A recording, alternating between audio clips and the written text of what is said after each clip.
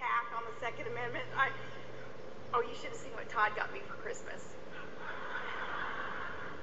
Well, it wasn't that exciting. It's a, it's a metal rack, a, a case for a hunting rifle to put on the back of a four wheeler. And uh, then, though, I had to get something for him to put in the gun case, right? So this this go around, he's got the rifle, I got the rack.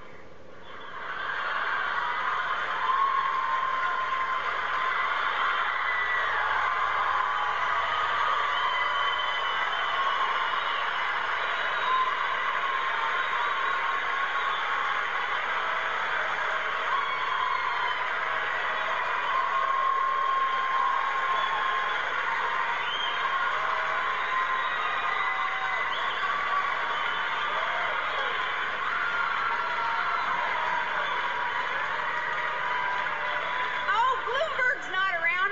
Our safe. We're cool. Shoot, it's just pop with low-cal ice cubes in it. I hope that's okay. What did you think was in it? Yeah, you young college Republicans, especially you who went Greek.